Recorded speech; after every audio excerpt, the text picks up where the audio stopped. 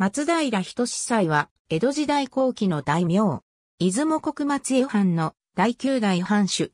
家には、14以上、では守る、左近衛県少将。直政系越前松平家宗家九代。藩主在任中は、松平仁高を名乗った。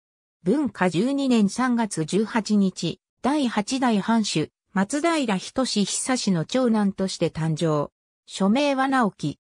文政5年3月、父の死により、同年5月23日に家督を継いだ。文政9年2月25日、元服し、11代将軍、徳川家成の返記を授かって、蔡高氏に改名、藩主在任中はこの名を名乗る。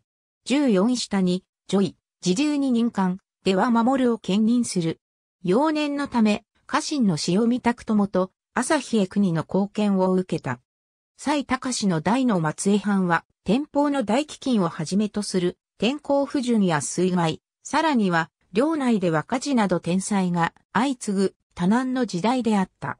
ところが、蔡隆は幕府に12万両もの献金を行った上、相撲や高狩りなどに興じて、犯罪性を極度に悪化させた。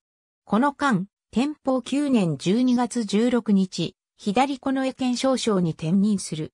また高下4年9月23日、14以上に少女し、左近衛県少将に転任する。嘉永6年9月5日、犯罪性の悪化により、家臣団の間で、正規配列の動きが表面化して、蔡隆は強制的に隠居させられた。そして、美作国津山藩から迎えた婿養子の正康を新たな当主として擁立された。隠居後は意味名を、正妻に改め、文久3年3月14日、49歳で死去した。ありがとうございます。